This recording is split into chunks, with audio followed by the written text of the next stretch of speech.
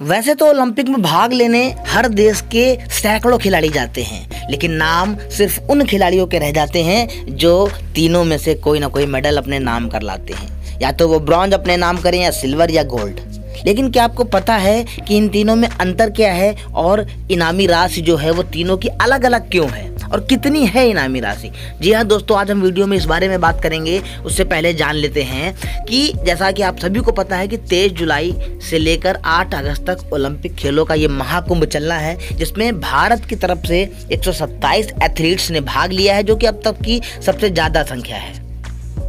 ये आई यानी कि Indian Olympic Association advisory committee ने सभी इंडियन खिलाड़ियों को एक लाख रुपए इनामी राशि देगी वो जिन्होंने इसमें पार्टिसिपेट किया है। बस आप मेडल लाते हैं या नहीं लाते हैं, लेकिन ये आपको मिल जाएगा। अब बात करते हैं कि गोल्ड मेडल सिल्वर मेडल और ब्रॉन्ज मेडल में कितनी इनामी राशि होती है।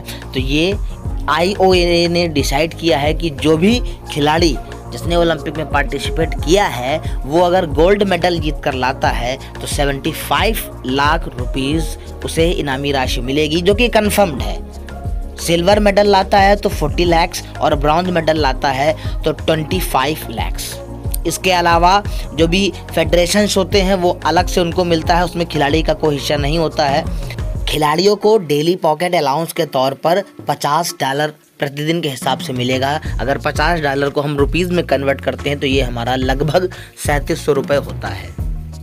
तो ये आपके एथलीट्स के जो कि कंफर्म्ड हैं। इसके अलावा जब वो एथलीट्स गोल्ड सिल्वर या ब्रॉन्ज जीत कर लाता है तो उनकी सरकारें उनको इनाम के तौर पर कुछ देती हैं, उनको किसी का ब्रांड एम्बेसडर बना दिया जाता है, या फिर उन्हें कुछ एडवर्टाइजमेंट मिलते हैं, किसी चीज़ की स्पॉन्सरशिप मिल जाती है।